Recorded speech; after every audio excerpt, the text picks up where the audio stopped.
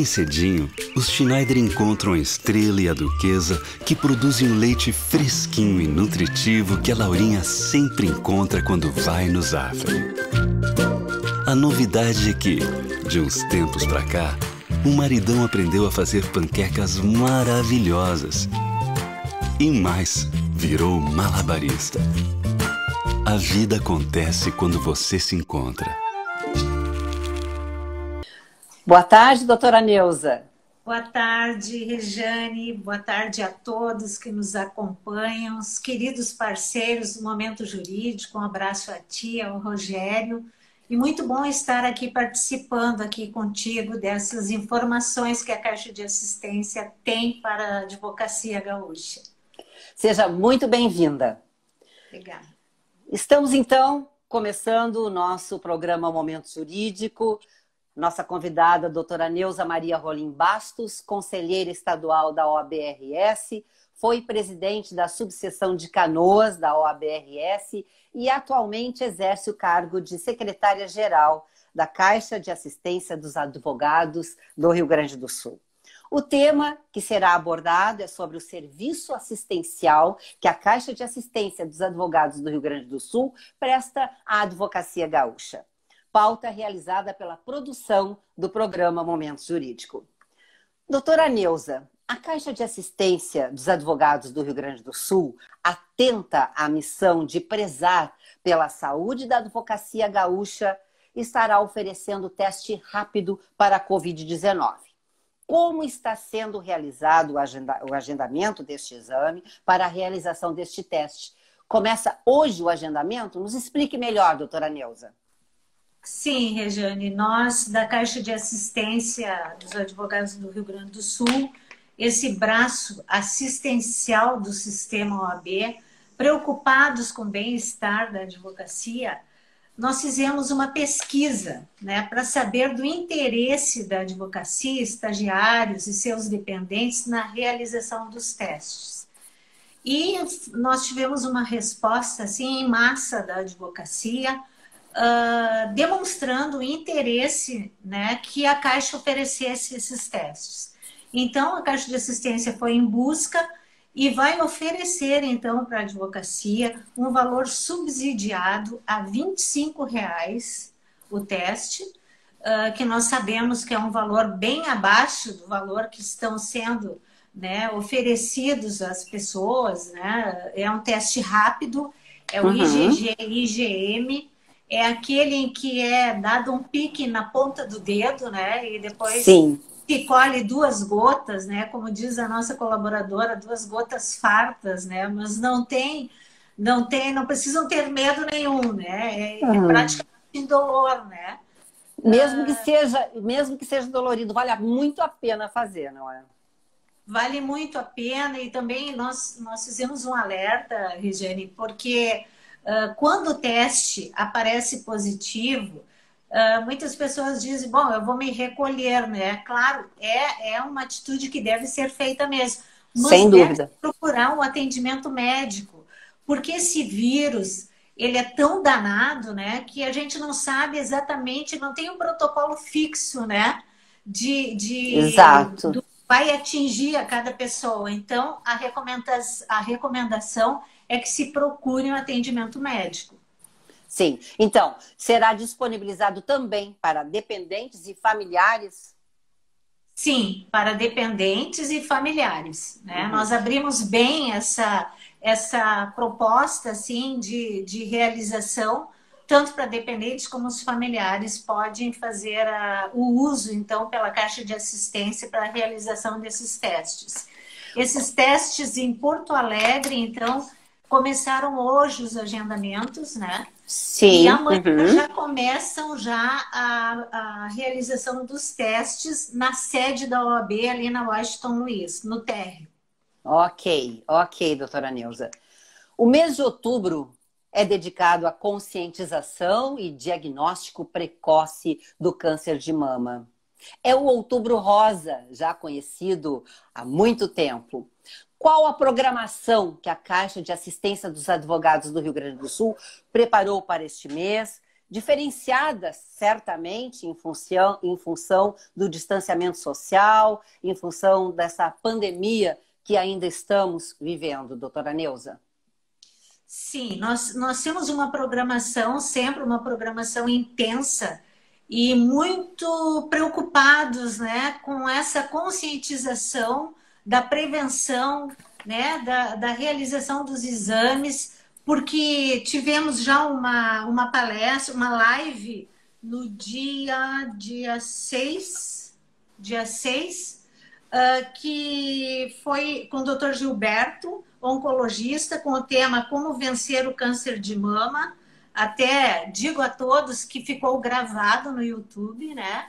Porque foi uma excelente explanação do doutor, um alerta muito importante e também da importância né, da, dessa prevenção. O que, que se percebeu? Que nesse período de pandemia, as pessoas, as mulheres, as advogadas, estagiárias e dependentes, acabaram postergando muitos exames e isso nós não podemos deixar passar, né? Então, observamos que neste ano os agendamentos teve um crescimento, o número de agendamentos, e se imagina que foi em razão da pandemia que as pessoas acabaram, que as mulheres acabaram deixando. Mas que bom que as nossas campanhas né, fazem esse alerta e se conscientizaram. E nós temos um número bem expressivo de agendas de mamografias para os próximos dias. Nós também temos, agora no dia 29, uma outra live às 18 horas, uh, YouTube e Facebook uh, uma live com o tema Câncer de Mama, vamos falar deste assunto, onde participarão a doutora Nelma Galo, uh, advogada e presidente da Liga Feminina de Combate ao Câncer, a doutora Narcila Dourado Castro, vice-presidente da Liga Feminina de Combate ao Câncer, a Kátia Vecchio, que é primeira tesoureira da Liga Feminina de Combate ao Câncer, e também de depoimentos de uma paciente também curada de câncer de mama. Então, além desse depoimento nessa live, nós estamos também uh, apresentando vários depoimentos de colegas, advogados, Sim. que venceram né, esse mal né, uhum. desse nosso tempo, desse século que é o É câncer, verdade, né? é verdade. É o mal do século para as mulheres, não é? Segundo o INCA, doutora Neuza, o Instituto Nacional do Câncer, o país registrará 66.280 casos de câncer de mama entre 2020 e 2022. A que a senhora atribui esse número tão expressivo? Na verdade, Regiane, como eu acabei de, de comentar, nós, uh, e isso foi uma das falas do doutor nessa live do dia 6, as pessoas deixando passar e também estamos atribuindo também nesse período de pandemia, onde há pouco estava acompanhando uma entrevista também com um oncologista, onde ele disse que foi percebido, e não só câncer de mama, como diversos outros cânceres, né, que as pessoas são acometidas, que acabaram postergando os exames, os acompanhamentos, os tratamentos em função da pandemia. Então, que seja feito esse alerta, né? E já estamos já nos preparando para a próxima campanha em novembro, que é o Novembro Azul, né? Com o Sim. combate uhum. do câncer de próstata, né? Então, nós próstata. temos que ter uhum. esses cuidados. Nessa mesma palestra do doutor Gilberto, ele ainda mencionava, por exemplo, nós acabamos deixando alguns exames que são extremamente necessários, né? Uh, colonoscopia que as pessoas devem fazer a partir de 50 anos tu tem que fazer tem que fazer esse acompanhamento para evitar uma incidência aí de câncer de intestino né? Então é verdade. temos isso e estendemos esse tema do câncer uhum. não só o câncer de mama. Claro que nós aproveitamos esse mês outubro rosa para intensificar essa campanha com certeza. Nós estamos também, Regiane, fazendo, oferecendo vouchers para advocacia, estagiários, para que todos os advogados e estagiários tenham condições de realizar a mamografia nesse mês de outubro. Sim. Isso vai ser estendido para todo o estado. Uhum, maravilha. Pois esse mês a Caixa está promovendo mais uma vez é o projeto Previne Rosa, não é? É exatamente, exatamente. como Esse são esses exames de mamografia que são realizados aqui em Porto Alegre, né, para as advogadas dependentes né, que, que moram aqui e para o interior do estado também. Interior do estado. Ah, um detalhe, doutora Neuza. O agendamento para o, o exame de Covid-19 para o interior do estado já tem data uh, prevista? Eu até fiz uma, uma observaçãozinha aqui, e esse texto nós temos lá na nossa página, e é outro alerta que eu faço, né? Uhum. Uh, a partir de hoje tem um agendamento lá na página do site, lá da Caixa de Assistência. Deve-se fazer esse agendamento, já vai gerar o boleto e a pessoa tem que efetuar o pagamento para não cair esse agendamento. Então é importante uhum. a gente fazer esse alerta. E nas subseções também, todos fiquem acompanhando a programação, porque logo em seguida, nos próximos dias, nós já vamos ter o calendário pronto das datas que serão realizadas nas subseções. Então, que todos se atentem né, a isso. E também nós temos uma orientação que esse teste se faça a partir do oitavo dia do início dos sintomas ou do contato com uma pessoa né, que, que tenha sido contaminada. São algumas dicas aqui que os médicos né, nos passaram para que a gente informe, então, a toda a advocacia. Sim. E o agendamento é realizado através do site da Caixa de Assistência dos Advogados do Rio Grande do Sul. Assistência dos Advogados aqui para Porto Alegre. Sim. Para Porto Alegre, tu passa. Uh, é importante também lembrar, Regiane, que naquelas subseções que já passarem, né? Ou, por exemplo, aqui no litoral, o ônibus da saúde da Caixa vai estar no litoral aplicando os testes, né? Sim. Se acaso o colega queira fazer um teste depois desse dia, ele pode ir numa subseção mais próxima ou agendar aqui para a capital, através da nossa página, do nosso site da Caixa de Assistência. E também estarão todas as informações a respeito, essas que a senhora está nos fornecendo e outras tantas também. Todas as informações estão no nosso site e nas redes sociais também. Perfeito. Mas, os agendamentos é no site, diretamente no site. Ok, a partir de hoje, vamos deixar né? Bem a frisado, que é a partir de hoje. E os exames começarão hoje. amanhã, doutora Neuza? Os exames começarão amanhã e é no horário das 8h15 até o meio-dia e depois das 13 às 17h45. Ok. Vamos voltar então para os exames de mamografia dentro do projeto Previne Rosa. Advogadas, estagiárias, dependentes, também terão possibilidades de fazer este exame preventivo, onde serão realizados? Com certeza. Uh, é estendida toda a advocacia aos estagi às estagiárias e às dependentes. Uhum. Uh, a advogada vai, ela tem que entrar em contato com a sua subseção no interior e aqui em Porto Alegre, aqui na Caixa de Assistência, para elas retirarem o voucher que é também subsidiada uma parte desse valor das mamografias através desse voucher que vai ser oferecido pela Caixa de Assistência. E após se dirijam à clínica que a subseção no interior vai indicar que é conveniada para a realização do exame. Mas Sim. tem que contatar com a subseção primeiramente. Sim, sempre o contato com a subseção para receber o voucher. Para receber o voucher. Exatamente. Sim. E aquele ônibus, ele é itinerante, ele está aqui em Porto Alegre, assim como está também no interior e nas praias, doutora Neuza? Sim.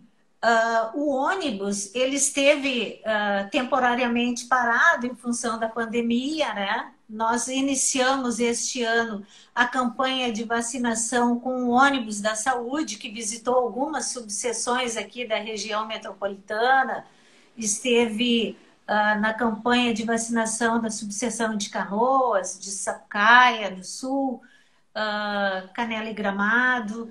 Então, e depois o ônibus nós estacionamos ele, até porque tem toda essa questão né, de evitar aglomerações. Mas agora nós estamos obedecendo todos os protocolos, todos Sim. os cuidados, e o ônibus então vai fazer aqui o litoral nesse primeiro momento. Porque a nossa intenção mesmo com o ônibus da saúde, Regiane, é, é levar para todo o interior do estado atendimento né, odontológico, com clínico geral, porque nós queremos, eh, queremos diminuir essa distância né, da, dos advogados da capital e interior. Nós queremos aproximar cada vez mais e levar então o ônibus da saúde para fazer esse atendimento. É, o ônibus vai até o advogado. O advogado, é, não, não tendo condições, não precisa se deslocar para chegar até onde são realizados os exames. Não é? Isso aí, isso aí é um trabalho que vem sendo realizado há algum tempo, né? A preocupação com a saúde dos advogados gaúchos. Com certeza, Regiane, tu falaste muito bem aí, porque a ordem vai ao, vai ao encontro dos advogados, né? A Sim. ordem ela está aí para cumprir o seu papel assistencial, como nós já mencionamos no início. Sim. E também, Regiane, aproveitando já que estamos falando em Covid, né, dos nossos auxílios, né, que estão aí, nós estamos atendendo, recebendo os auxílios, os requerimentos de auxílios que são concedidos, muitos em razão dessa pandemia que deixou muitos advogados, a advocacia, assim, numa situação muito difícil. Nós tivemos os foros fechados, né, até bem pouco tempo. Então a advocacia sentiu muito isso. Então nós temos alguns auxílios para atender especificamente esses casos, né, como o auxílio solidário, que uhum. é um auxílio onde o advogado se encontra numa situação financeira, né, de carência extrema, né, que são três parcelas do valor de 300 reais e também nós temos uh, o auxílio especial, aquele advogado que é contaminado pelo Covid e, em função disso, não consegue exercer a sua profissão, ficando muito debilitado também, inclusive financeiramente. Então, esse é um outro auxílio que é oferecido, então, à advocacia nesses casos. Né? Perfeito, perfeito. Mais algum detalhe que a senhora queira colocar, doutora Neuza? Temos alguns minutos ainda. Ah, tá bem. Não, o que, o que nós sempre aproveitamos, Regiane, para falar é para convidar sempre a advocacia que, que, que participe né, dos, das nossas campanhas. Né? Nós temos também convênios, que isso é, é, algo assim que a gente não está acostumado a fazer, mas o ideal seria, antes de fazer as compras, antes de eu ir numa farmácia, antes né, de eu adquirir qualquer coisa, dá uma passadinha ali na nossa página para olhar os nossos convênios, né? O que, que nós temos ali para oferecer, porque são descontos. E Sim. se chega no final do, do ano, a gente vai proceder esse cálculo aí, nós pagamos a nossa anuidade. Então, nós queremos ah, nos aproximar cada vez mais da advocacia. E muitos não conhecem a Caixa de Assistência, mas nós estamos aí para recepcionar, para receber advocacia, estagiários, e estamos inteiramente à disposição também. Ok. Qualquer informação, qualquer dúvida, a senhora pode dizer o site para quem está nos assistindo e também para quem vai nos assistir depois, porque esse vídeo estará disponível no IGTV do arroba programa MJ no Instagram. Sim, então o, o site. nosso site é da Caixa de Assistência, uh, é Caixa de Assistência e Insta, Instagram, Facebook da KARS, da OABRS, tá? tanto no, no Facebook, Instagram, e também no nosso site da Caixa dos Advogados do Rio Grande do Sul. Ok. Foi um prazer muito grande recebê-la, revê-la até a nossa próxima oportunidade. Eu que agradeço a oportunidade e estamos sempre juntos. Agradeço também ao Rogério, que está aqui nos acompanhando também. E obrigada mais uma vez. Um forte abraço, doutora Neuza. Um abraço, Regiane. Uma obrigada. boa noite. Uma boa obrigada. Noite. Logo após os comerciais, vem o comentário da doutora Luciana Generali Barney, Psicologia Jurídica em Destaque. Temos sempre o oferecimento de Zafari Bourbon, economizar é comprar bem, e Catu Seguros, especialista no que tem valor para você. Caixa de Assistência dos Advogados da OABRS e APMPA, Associação dos Procuradores do Município de Porto Alegre. Todos os dias, faça sol ou faça chuva, os Nakamura se encontram para cultivar esses lindos tomates vermelhinhos. Os mesmos que Alice nunca deixa de comprar quando vai no Zafari. E sabe por quê? Porque de uns tempos pra cá, o Paulo Roberto se revelou um pizzaiolo de mão cheia. A vida acontece quando você se encontra. A Icatu Seguros é a maior seguradora independente do Brasil em vida, previdência e capitalização. Incentivamos milhões de pessoas a buscar proteção e a planejar um futuro ativo e seguro. Nossos produtos estão disponíveis em todo o território nacional através de diversos parceiros comerciais e corretores credenciados. Conte com a segurança de quem administra e protege o dinheiro de muita gente. Gente que sabe que o futuro começa hoje. A Rio Grande Seguros e Previdência é uma seguradora gaúcha. Nosso portfólio de produtos e serviços oferece planejamento e proteção para todas as fases da vida. A gente cuida do futuro da nossa gente com as melhores soluções em seguro de vida e previdência. Porque o nosso compromisso é facilitar a vida de quem confia e conta com a gente. Rio Grande, o teu futuro começa agora. Psicologia Jurídica em Destaque. Doutora Luciana Generali Barney. Olá, queridos telespectadores. No programa de hoje, eu estarei abordando a importância do convívio dos filhos com ambos os pais. Este convívio é assegurado constitucionalmente desde 1988 e é baseado principalmente nas diferenças que o pai e a mãe exercem no desenvolvimento emocional dos filhos.